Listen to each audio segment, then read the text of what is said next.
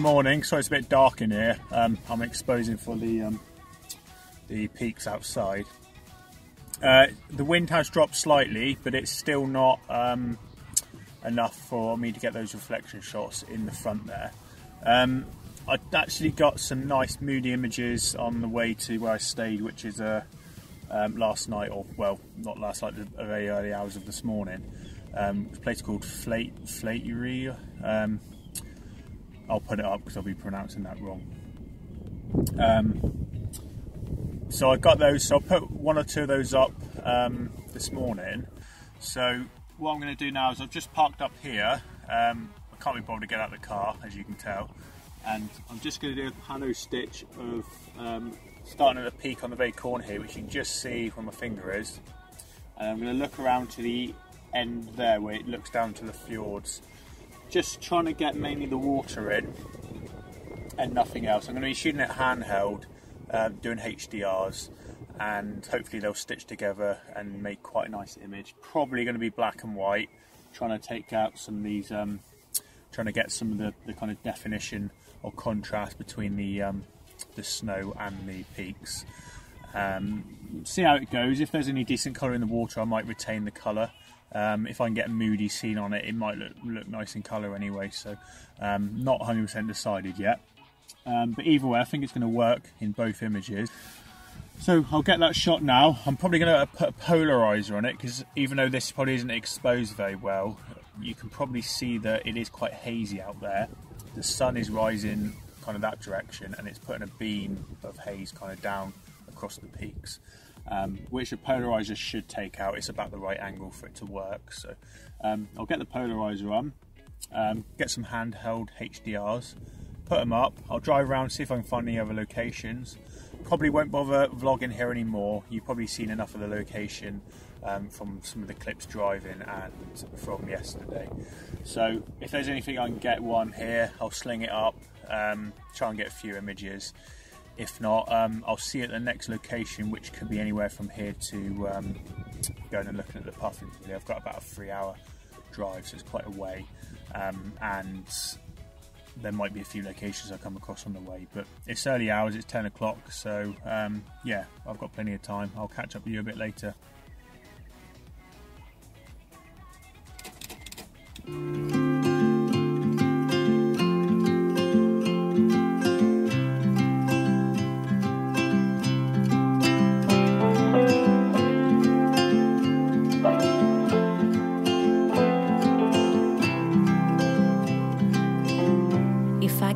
Hear my father's voice, he would tell me to move on.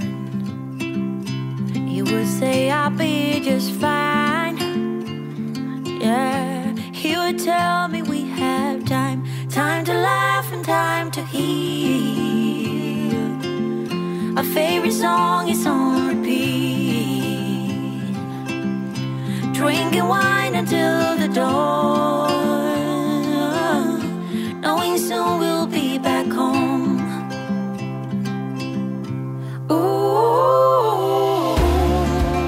Right, I'm at Lac Bragg, um, where you get loads of puffins.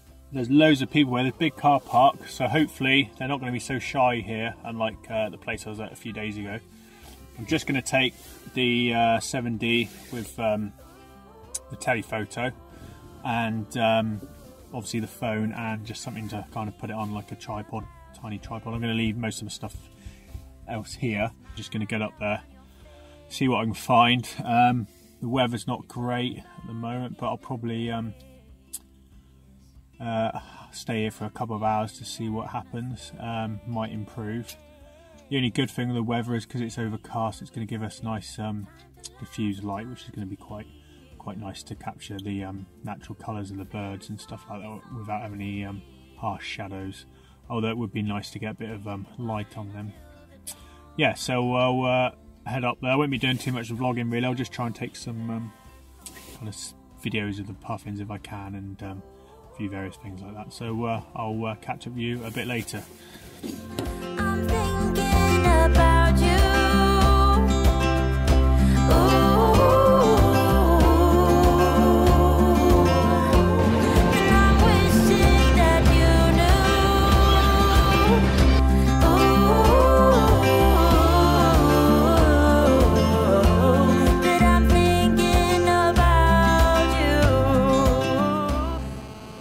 Found some puffins um, down on the cliff here. Um, you have to bear with me. I'll have to um, take a picture or a bit of video on the phone.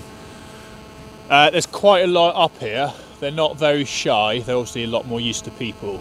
Um, you still got to kind of hang over the cliff a bit to see them. I've just been taking some pictures of the birds coming into land. They're not very predictable. Um, so it is a bit hard to see them because they're black and they're quite small. Um, they are quite hard to see to the last minute. And also, they've got lots of guillemots, uh, guillemots up here.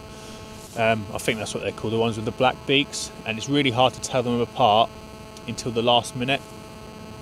I've got a few cool shots. Um, been shooting on the 70 to 200 with a 1.4 times extender. Um, it's the Mark One um, so it wasn't too expensive. It set me back about 120 pounds the ex- uh, the extender. The only difference between the Mark One and the Mark Two is they flock line the Mark Two to cut down the reflections, but it doesn't really make too much difference to be honest. Um, the Mark One is very capable. The Mark Three's got lots of software and stuff in it to try and make that better. Um, but again, you're going to be looking at 400 pounds or 300 pounds, something like that for the Mark Three. So really happy with the quality on it. It doesn't affect it too much. My 1.4 times extenders don't really affect image quality that much. The two times are a different story. Uh, it's obviously my landscape style lens, so it's an f4.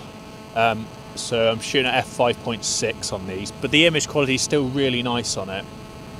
Um, and all I'm doing is I've got it in AI servo mode, shooting at a, a shutter speed of 1200 for the second and shooting about 5.6 to 8 f8 kind of most of the time to get it as sharp as I can really.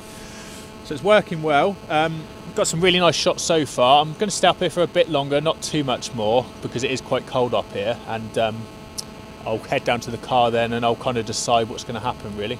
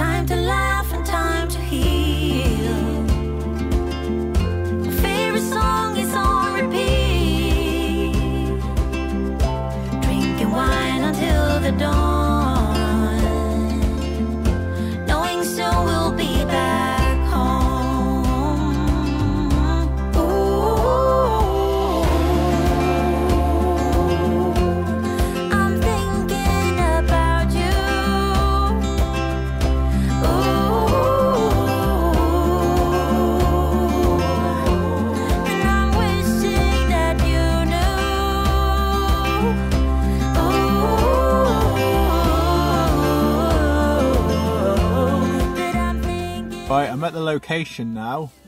Here it is.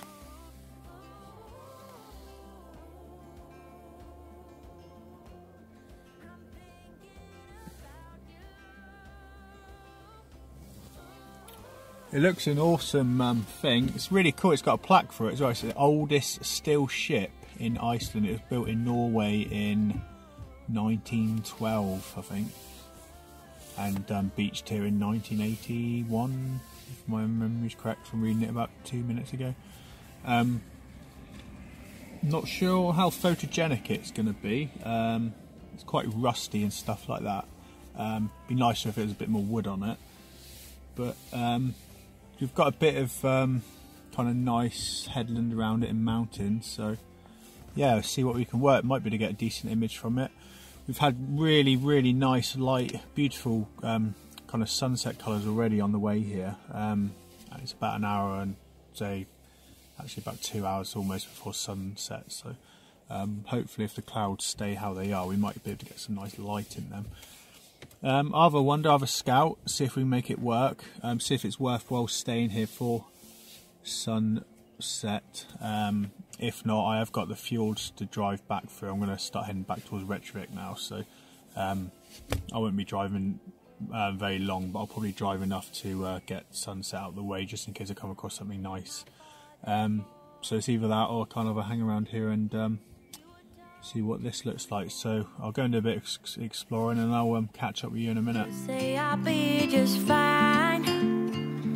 Yeah, he would tell me we have time, time to laugh and time to heal. Our favorite song is on Right, here it is from this side. Um, it's actually an old um, whaling ship, apparently. I've done a bit of a research. um, it's a bit spooky. It made me jump a minute ago because there's a massive noise on it because this boom, um, which I assume lifted the whales out, this crane type thing, um, is still moving. It hasn't actually seized up and it sways around in the wind, making a big creaking noise. Um, got some really nice um, sunbeams going on up here. It's a bit cloudy, but luckily it's dark enough now with a polarizer and a my hard grad push all the way down to get a bit of movement in the sky. I'm doing HDRs, and um, with that on, um, I'm getting a shot. I think the first shot's two and a half seconds, second shot's 10 seconds. Um, the middle kind of exposure, and the last exposure is 30 seconds. So that's enough kind of slowness to to hopefully get some movement in the clouds, make a bit of a soft image. Um, sorry, a bit of a soft movement in the clouds. It's doing this really funny thing as well. I've got a polarizer on it just because I'm trying to get as much light out of the scene as I can. Um, obviously, not having many filters to use at the moment. Um, if you look at this now, all along here, you've got this kind of salty reflection on it where um, I think over the years the kind of salt or something's got into the paint. If you go and look at it really closely, it looks like really oily, um, but it's not. It's dry. It's almost like like a bitumen type oil paint. But the polarizer, um, and I'll twist this and put it up so you can see, is totally cutting that reflection out. So it's um, a bit random. You wouldn't think it'd make um, too much difference, but if I spin it now, you can see all that kind of glare just comes back into it. Um, I think I prefer it without the glare really, um, although it does make it look a bit kind of cool and rusty with it on there. Although to be honest, it just looks a bit like bird mess in the image. Um, I think this is the best kind of composition of this boat.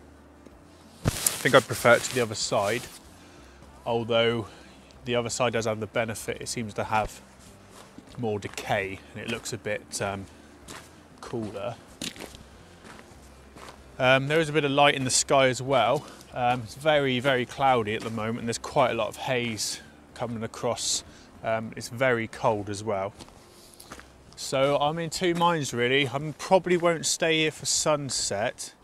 Um, I don't think colouring the clouds is going to do it too many favours. I think if it was a sunset and lighting up all this kind of uh, kind of um, fjord and all these um, peaks and stuff, and you had the light on those, I think that would look really cool.